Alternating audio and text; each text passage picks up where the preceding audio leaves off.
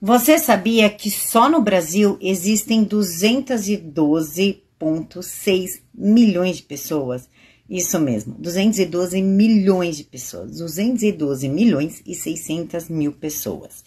Desse tantão de gente, somente cerca de 3 milhões são, se consideram trans ou não binárias.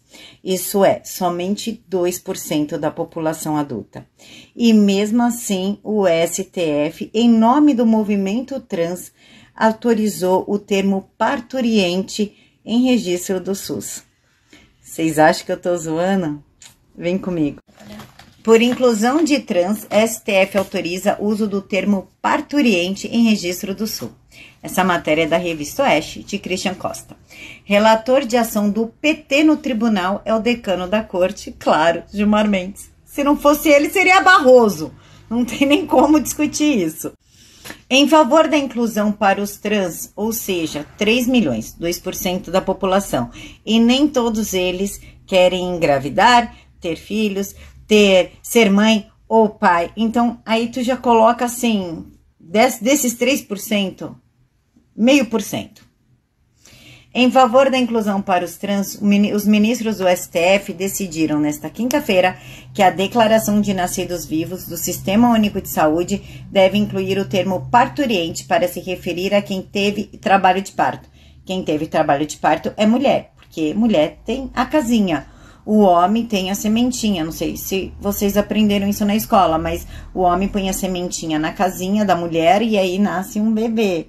Então seria mulher, mãe, mas não, é parturiente, porque mãe ofende menos de 3% da população. O termo é aceito pelos LGBTs, que podem ou não se considerar mães ou pais. A expressão responsável legal também foi incluída pelos magistrados no DNV, a mudança já havia sido adotada administrativamente pelo Ministério da Saúde. Agora é decisão judicial. Se já não bastasse o termo pessoas com vagina e não mulheres, ou pessoas que menstruam e não mulheres, agora o termo é parturiente e não mães. Pouco a pouco, colocando homens para competir com mulheres nos esportes, homens para competir com mulheres em Miss Universo, homens para competir com mulheres em tudo que é lugar, só porque eles colocam roupa de mulher, já passa a ser mulher. Agora o termo mulher e mãe será praticamente enterrado e nós seremos somente pessoas com vagina.